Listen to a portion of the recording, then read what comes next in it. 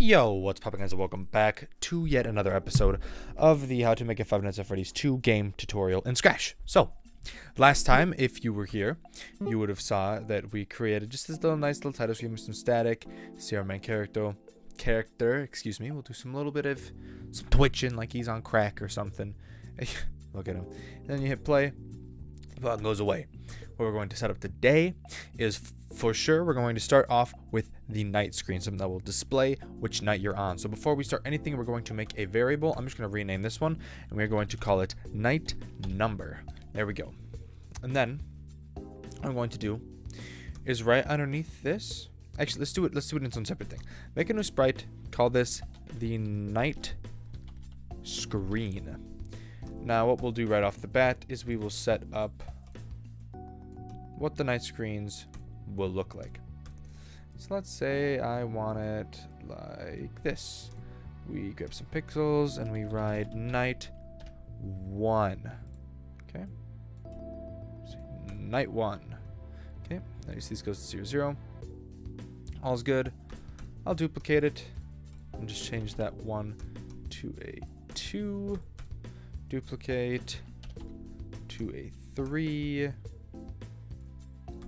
duplicate to a 4 to a 5 if you want to do your secret 6 night and then your custom night is always the 7th night there we go. Now you have all of your night screens laid out again if you want to make them look nicer please gladly go ahead and do that so what we need to set up here is in this night screen tab. We're going to do our when green flag. We're going to do our custom one. I'll zoom in so you can see. What we will do is we will start off by hiding this sprite. And then we will set our night number to 1 because you will always start on night 1 when the green flag is clicked. Now you might be saying, well, what if we want to go to the next night? Don't worry, we're going to have a whole saving system set up, all that kind of thing. So don't worry about that. Just make sure you always set it to night 1 when the green flag is clicked.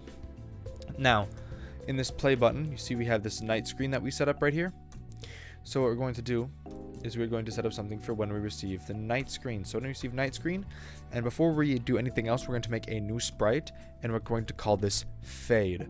Now all you're going to need to do here is take a black square and just make a black square that will cover the whole screen. Go ahead and save. And then in this fade button, or in this fade sprite, you want when the green flag is clicked to hide it. Hey, what we'll do now is in our play button, we are going to make a broadcast before night screen, calling it fade. Okay. Now the reason we're going to call it fade and not broadcast this on a night screen so we can use fade over and over and over and over and over again. So here we go. When we receive fade, right, what we do is we set the ghost effect. So we can do set, change color to ghost, set ghost effect to zero. Then what we can do is repeat maybe 10 times. You can mess around with this. Change your ghost effect by 10, because 10 times 10 is 100. Okay. And what you can do is wait one second, duplicate what we have here, get rid of the wait, repeat 10 times, and change your ghost by negative 10. And then hide it. So what'll happen is when you press the play button, ah, we should probably have this. So don't forget to, to always show and go to front layer when fade is created. So hit the play button. That was very quick. So let's do this instead. Repeat 20 times. Change ghost effect by... Oh, my goodness. Change ghost effect by 5. 20. Negative 5. Maybe that'll be a bit not as... Ah, that's probably why. Static. Static. So, what we can do is when I receive fade in our static, let's go ahead and let's go ahead and hide it. So we have a little thing. Click it. Hmm. That's a bit odd. Oh, I know why. I'm dumb. We set the ghost effect to 100. Negative 5. 5. Because obviously if it's at 100, it'll be invisible. Okay, now let's take a look. Now let's take a look. You can probably actually get rid of this hide thing on the static maybe. Yeah, look at that. No, of static even stays ahead of it. You see, it fades, and it'll come back. which is what we want. So, right here now what we can do is when I receive night screen, we can wait 0.3 seconds because that should be about how much time it takes for the fade to go. And then what we will do is we will have it go to 0, 0. We will have it show and switch its costume to our night number, which is why we wanted it set to 1 because it equals 1, so it'll switch the costume to 1, and 1 is our night 1. Makes sense? If it doesn't, I promise it will. So we hit play. Okay, a little quick on the showing up. A little quick on showing up because we saw it. So maybe set this to 0.4. Fiddle around with this number until you get it so that it looks like a smooth transition. But let's click it. Oop, it still shows up, still shows up, still shows up. Little weird, little weird. 0.5. And then here, we'll also, we will add this. When I receive fade. Yeah, no, let's just try this. When I receive fade, just hide. Like a little bit choppy, but it does look really weird. Okay, yeah, I don't like that. Let's say, wait, 0.5 seconds as well. Let's see if that looks better.